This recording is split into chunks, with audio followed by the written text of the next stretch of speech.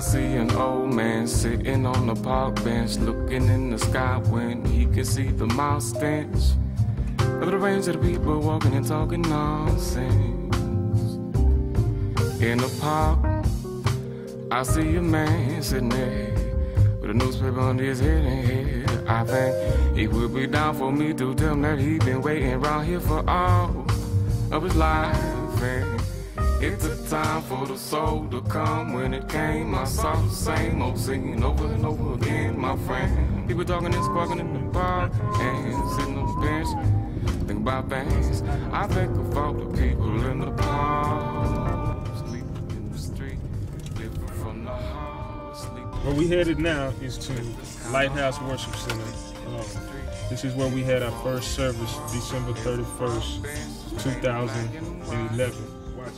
And sleep, This is Lighthouse Worship Center. As you can see, this is where we had our first service. Pastor Sam Gibson, uh, And so announced- you dry in the sunlight. You sit there and you prepare to make a move. And so you go through each and every can. Looking inside, trying to see something that you didn't see last night. They want to get something to eat. And you go down the street. And which which street are we on right now? We're gonna get on Lamar Street. I'm gonna take you by St. Paul. That's the uh, that's the church. Uh, Pastor Layus Johnson, my father in the ministry, um, where I preached my first sermon. You are a fool, but I know better.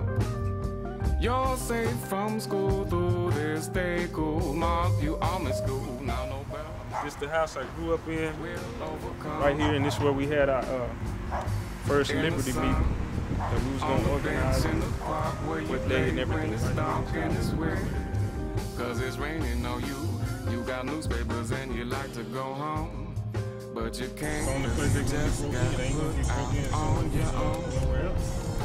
You're thinking about So for these young white cops to, to understand the streets and thinking know what's going on, they send to the South Dallas You community. see the children play. Come back to South Dallas and move back and build it back up. A lot of history in South Dallas. A lot of history. We're Archie's. Get some good soul food up here in Archie's. Yeah. Right. You go. In the park. It's quiet. Uh, Oh Local pastors, a young pastor in this area, what can we do to help you guys effort? What kind of things you need to keep this program to that you'll be able to open your doors every month? Because I know if you're giving this stuff away, you need more stuff. So what can we do to get you more stuff? Because I know people got clothes they ain't wearing this winter, they didn't wear last winter. So This is real ministry taking place right here on the streets. We're not talking about a mega church. We're not talking about 10,000 people. We're talking about a mega ministry taking place right here in the streets of South Dallas where they're taking just what they have to bless somebody else.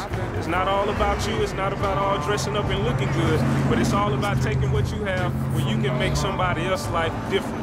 Right here. Living's kinda hard, sleeping in the street. Black and white. And when you sleep there, it don't get wet when you wake up because the trees are withered.